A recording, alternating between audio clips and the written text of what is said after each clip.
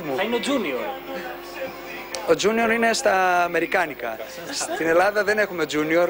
Ακούστηκε το όνομά σου, αν όχι συγκεκριμένα το όνομα, αλλά σαν χαρακτηρισμός, ότι η Ευαγγελία Ραβανή μετά από το χωρισμό επέστρεψε σε έναν πρώην της. Και έχουμε στο μυαλό μας ότι σα έχουμε ζευγάρι. Έγινε κάτι τέτοιο, Παιδιά, υπήρξε είναι, κάτι τέτοιο. είναι, είναι αστεία αυτά που μου λέτε αυτή τη στιγμή και δεν υπάρχει λόγος να, να πω το σχολιάσεις. οτιδήποτε πάνω σε αυτό.